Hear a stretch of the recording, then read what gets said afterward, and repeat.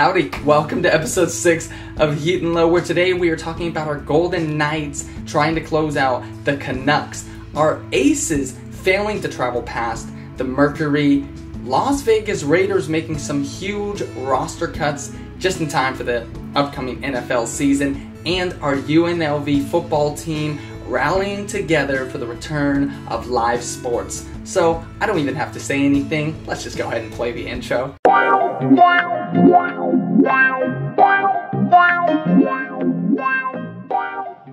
So our Golden Knights couldn't get the job done on Tuesday after going up 3 1. The Canucks responded. We knew they were going to with a 2 1 victory, and now it goes to an all important game number six for Golden Knights to try and do it again. This was the first time that Jacob Markstrom, the goalie for the Canucks, didn't play this whole postseason, and I think it was smart. Um, he's he's had a tremendous run, but I think you know to, to give him some rest that was important. And Thatcher Demko, his backup, did just that. Had 42 saves. The Golden Knights outshot the Canucks 43 to 17, but still, Demko stopped a lot of the shots, only let one goal in, so he did a fabulous job for them. And I think they're going to get Markstrom back on the ice for Game Six, and we'll see what happens. In terms of our Golden Knights, Robin Lehner is now 2 and 2 in this series. Both of the wins have been shutouts, while in the losses, he's given up seven goals. So, obviously, he really plays better when, when he can kind of minimize the, the attacks, which makes sense as a goalie. Marc Andre Fleury has played in one game. He played in game four, where the Golden Knights were up 2 1. They, then they trailed 3 2 into the third, and they scored three goals within three and a half minutes. Just insane. And so he played a great game. He stays undefeated in the postseason for our Golden Knights. It's interesting what's going to happen in game six. Do they go back to Fleury? Who, again, is pretty fresh. Lehner has played most of the games in the postseason. So do you kind of give Fleury another chance? I don't know if Pete DeBoer is going to do that. He's probably going to stick with Lehner they they've kind of have shown, hey, Lehner is our guy, and unless he's struggling mightily, then we're gonna throw Fleury in. And so I don't think you'll see Fleury in unless case if game six is horrendous for Lehner, then for game seven, everything on the line, they might throw in Fleury. I'd like to see him in, in game six, just give him another shot. He's a fantastic goalie. I get he's older, the same thing that the Canucks did with Markstrom. Give Lehner some rest. Give Fleury a couple games. I mean, he he is capable. The fact that before he had PK Subban or Subban as his backup, Fleury was taking most of the reps, wasn't getting a lot of rest. Now you have a guy like Lehner who's taking the forefront. Let Fleury come in with his experience and hopefully, you know, see see what he can do. And if he struggles, then you go back to Lehner. But we'll see. We'll see what Pete DeBoer does. Now, the Golden Knights have come out and said, hey, if we get an increase of traffic around the net, I think, or they think that that will help them win. They think they failed to do that in game five. If they capitalize in game six, they believe that'll, that'll lead to a win. I know they're having flashbacks of last year. They were up 3 1 against our rivals, the San Jose Sharks, and then the Sharks won three in a row, came back to win the series in seven, including in game seven. There was a crazy call. I think it was on Thomas Nosek, and he went to the penalty, uh, penalty box. I've never seen this. Usually, power plays are two minutes. It was a five minute power play. The Sharks, I think, scored four goals within that, took the lead, took the momentum, and took the series. So I know the Golden Knights are kind of maybe thinking about that and like, hey, let's try take it one game at a time. I believe in them. There's been a lot of change though. We have new players including Zach Whitecloud, Alex Martinez, and of course Robin Lehner. So I think overall, what I've been seeing from the Golden Knights, they have been getting a lot of help. There's been a lot of great strategic play with with Mark Stone, Max Max Pacioretty, Alex Tuch. Riley Smith has had a heck of a postseason. So I do think they're fine. Again, we'll see what Pete DeBoer decides to do. Um, because by the time you hear this, Game Six will have already happened. So we'll see. Does he stick with Lehner? Does he go with Fleury? For me, I think he should go for go with Fleury. I think yes, if the Golden Knights, that's when they play better. If there's more traffic around the net, they can usually capitalize on like rebounded shots, and that'll help them. So we'll see again what happens. Um, game six is tonight. Again, for you, it'll have already happened Thursday. If it if the Golden Knights win, then they'll await the winner of the Colorado Avalanche and Dallas Stars, which that has turned into a great series. Same thing. Dallas was up 3 1. Avalanche have won two straight. Now that's going to game seven. If the Golden Knights fail to close out the Canucks, then game seven will be a back to back on Friday. I do think you're going to see Fleury if that happens. If Lehner plays tonight and the Golden Knights lose, I think you'll see Fleury on Friday. If they play Fleury tonight and the Golden Knights lose, I think you see Lehner. So I think either way, if it goes to a game seven, you're going to see Fleury.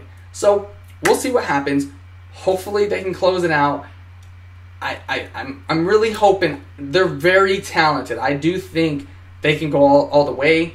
They just have to do the necessary factors. So, Golden Knights, just practice what you preach. Get the traffic increased around the net. Give some give some reps to Fleury. I'm, I'm telling you, just give him some time. Give Lehner, hey, you deserve some time off. If we go to Game Seven, if Fleury is struggling mightily, we we we will put you back. You're our guy. I you know whatever. But I do think let's not just shut out Fleury. So that's what I think. Anyway, Go Knights go. Hopefully it just finishes in game six. Moving on to our Las Vegas Aces. They obviously are having a tremendous season, but they have failed to beat the Chicago Sky this year and also the Phoenix Mercury. Now this time it was Diana Taurasi, a veteran in the game, gonna be a Hall of Famer. She dropped 32 points. Now the surprising thing is is not her going off, but the fact that the Aces, fully loaded, lost to a short handed Mercury team, a team that didn't have Bria Hartley or Brittney Griner. Two of their better players, obviously Taurasi being the main star, but it was just a struggle. The Aces struggle from the three point line, being outshot 42 to 9 from three. So the Mercury were on, they were on it it was a good balanced scoring from the Aces. I mean, Jackie Young led the way with 20 points. Dearica Hamby had 18 points, 13 rebounds. A'ja Wilson, 17 points, 10 rebounds. And Kayla McBride had 14 points. So when you look at that, you're like, okay, they had great diverse scoring all across the board.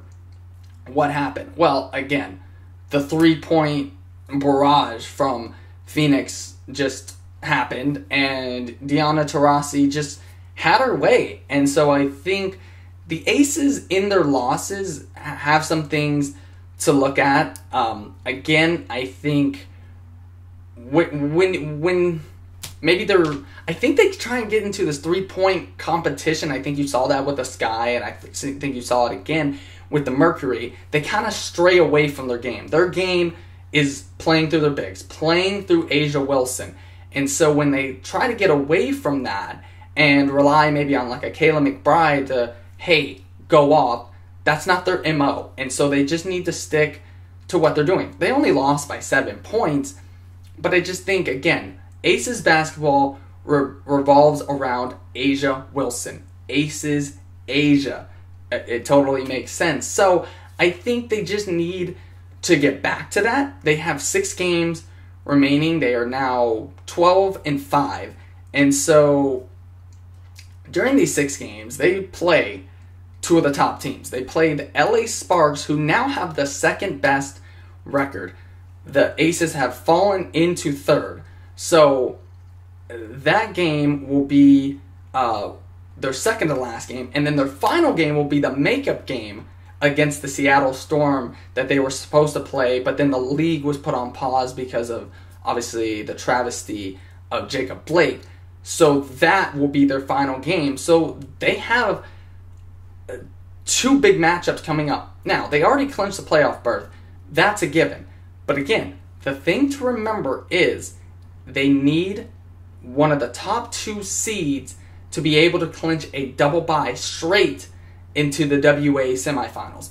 If they don't do it, I mean, yeah, in hindsight, is it that big of a deal? No. They're very talented and they can go very far without having that. But think about it.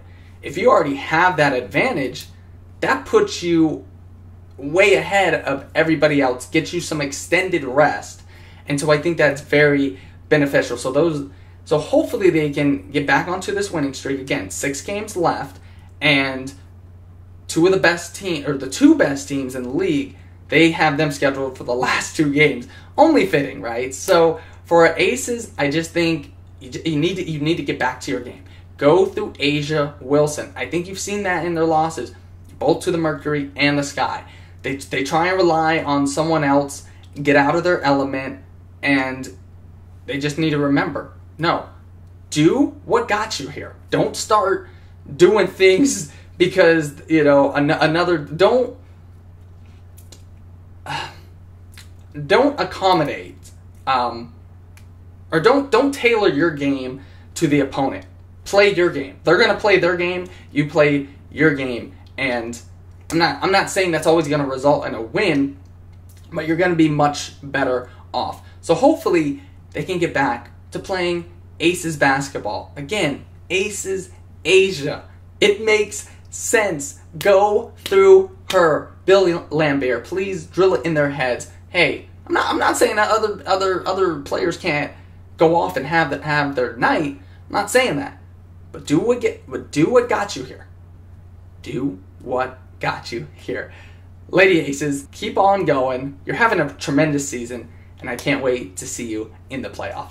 So it's crazy to think we're already in September, which means football season is right around the corner, and all these teams are making roster cuts, including our Las Vegas Raiders. They are down to 74 players. They have to get it down to a 53 man roster by September 5th. So obviously, they only have a day, a day to, to do that. Um, and by the time you hear this, again, there'll, there'll be more moves made. But they have placed Tyrell Williams on injured reserve. He is a wide receiver, suffered a torn labrum, and was reported to ha- try to play through that injury. Now it's been confirmed that he's going to have season ending surgery, which I always hate to hear just because it I get it. It's part of the game, but but it, it, it sucks. Before you even get to step on the field, it's like, no, you're to have to wait until next year football already doesn't have a long shelf life in terms of career. You look at sports like basketball, baseball, players are able to play longer just because it's not as physical. Football is, is not the same. So losing a year is like losing five years in the NBA or, or something like that. It's, it's equivalent. So I always hate to hear that but that's official. Now, the uh, Raiders have also released these players defensive end Sharif Finch, outside linebacker Jordan Roos, and Jordan Devey. Uh, cornerback Nick Nelson, who failed his physical. I mean, shame on you. Like, if, if that's why you got released, come on. You, you should know at this point, if you're trying to make the team, you, you gotta you gotta stay away from from the enhancements and the drugs, like you just I never understand that. But but that's that, that's me. They also released running back Rod Smith and cornerback Prince Amukamara. I can never say his name right. He was released on Monday, but that was only to make room for the incoming linebacker Raekwon McMillan, who the team received in a trade from the Miami Dolphins. So that will be a big addition. Again, the Raiders have made big additions this offseason. Uh, they got Cory Littleton from the Rams. Obviously, they got Henry Ruggs in the draft. Wide receiver Nelson Agholor came from the Eagles. Jason Witten came as a veteran tight end from the Cowboys. Um, I mean, they are are primed. I feel to finish behind the Chiefs. I still think the Chiefs, with now their core group, are still a better team. We're going to have to see how the Raiders come together, but there's no reason why the Raiders should not finish second. To me, they're better with the Chargers. Philip Rivers is gone, even though I feel like he was on his down year. They brought in Justin Herbert, which I think he will shine. I just don't know if that's going to be this year. And then you have the Broncos, who are kind of just dead in the water at, at, at this moment. So to me, there's no reason why the Raiders should not finish at least second in the AFC West. But we will have to see what happens. Again, a lot of it requires Derek Carr's play. How is he going to play? He's going to be the main catalyst for how far this team goes. However far Derek Carr goes, that's how far the Raiders are going to go. Playing in Allegiant Stadium, moving to Las Vegas, there's been a lot of changes, and I can't wait uh, to see how they are. I can't wait to get into that stadium whenever that happens, um, because who knows if it's going to be 2021, but whenever that is, I can't wait to kind of be in there and experience that. But the Raiders, I'm expe- I'm expecting some some pretty I have some pretty mild expectations. Again, at least second in the AFC West, and I don't think that's asking a lot. I'm not asking you to beat the Chiefs because I I don't know if you're that talented yet, but definitely when it comes to your own division, you should finish second. That's just my opinion. We'll see how Derek Carr plays. We'll see how Jon Gruden gets these guys together and ready for the 2020 season because it seems like it's going to happen. We haven't heard anything official whether they're going to we haven't heard like they're they're to follow baseball and play in their own region. It just seems like it's to be a regular season. Some stadiums are adding fans, others aren't. It should be interesting either way, but Raiders, I got your gear on. So, it, it, it's it's time to Raider up. So I thought this was a pretty awesome story to end on. Our UNLV football team will not be playing this fall. Have decided to postpone it to spring.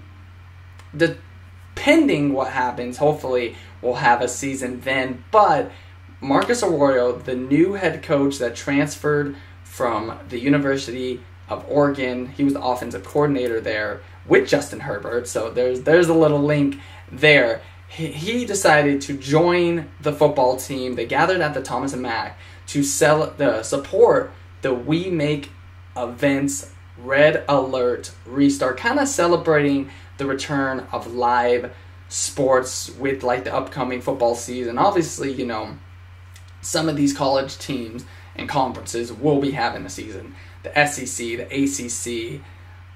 I don't agree with it. I've already spoke about my thoughts before. But yeah, so I, I thought this was really cool um, and kind of shows their their togetherness. And I really like Marcus Arroyo. It reminds me of when TJ Otzelberger got here for the basketball team. I just thought he was very involved with the team. He really, I feel, showed like I want to turn this program around. And I feel like Marcus Arroyo doing this with the UNLV football team is kind of showing, hey, yeah, we're here for the long run. I support my team, and he's making it known. He's going out, doing these team activities, and supporting, like, hey, we're not having a season this fall, but when we do have a season, it, like, we'll be ready. And I think it just shows the, again, the camaraderie that this team has under him. He's already, in my opinion, making a change. And so I commend him for that. Um, now, they do have a Rebel Athletic Fund if you want to donate in order to help out during uh, these unprecedented times. You can follow them on social media at UNLVRAF for the Rebel Athletic Fund. Um, so if you want to donate, again, follow them on social media at UNLVRAF. But I thought it was just a really cool story to end on. It's showing me his commitment, and I do think UNLV is going to be much better going forward. Um, I'm not saying they're going to have a turnaround in in, in the next season. It usually takes a little bit, but I do think having a prominent guy from Oregon come here, I think it's going to attract a lot of of players here, and depending how the program does do, it should be very interesting. So, props to you, Coach Arroyo, and our UNLV Rebels. That does it for this week of Heat In Low. Thank you for joining me. I know we covered a lot, but I think it was important, and I hope, as always, you enjoyed.